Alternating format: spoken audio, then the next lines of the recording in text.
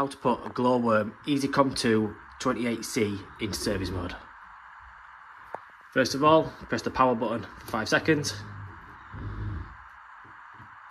until this symbol shows, then hold the M mode button for further 5 seconds, you'll get the three lines, and then you get PO. You get PO1, click plus, you'll start at 0, take it all the way up to 100,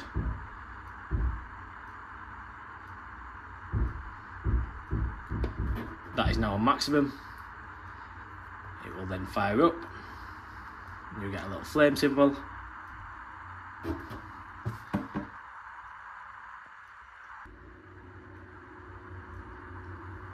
Once you've took your readings in maximum, you can then take the rating down back down to zero.